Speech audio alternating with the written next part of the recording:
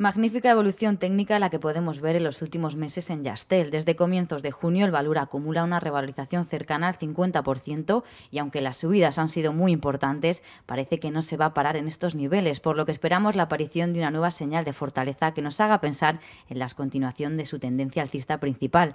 En las últimas sesiones observamos lo que puede ser la formación de un gallardete, por lo que estaremos pendientes de un cierre por encima de los 8,05 euros.